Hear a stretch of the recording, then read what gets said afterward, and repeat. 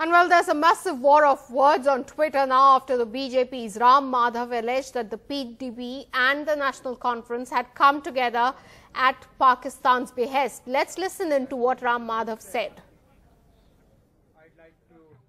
These very same parties, PDP and NC, which have boycotted the local bodies uh, elections last month because they had instructions from across the border.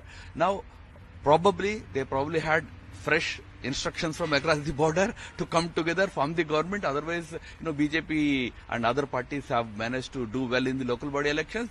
Whatever might be the reasons, what they did prompted the governor to look into the whole issue and take this decision. Ram Madhav साहब इस बात पे खफा नहीं है कि PDP और BJP और सॉरी पीडीपी नेशनल कॉन्फ्रेंस और कांग्रेस एक साथ आने की तैयारी कर रहे थे राम माधव साहब इसलिए खफा हैं कि उन्होंने जो ख्वाब देखा था यहाँ पे एक नई हुकूमत बनाने की वो ख्वाब उनकी अधूरी रह गई तो that is not are irrelevance that is if anything are are are relevance Well, you heard Ram Madhav there speak, and after that, there was a Twitter war. Omar Abdullah there responding to that, saying that I dare you, Ram Madhav ji, to prove your allegation. You have raw NIA and the IB at your command.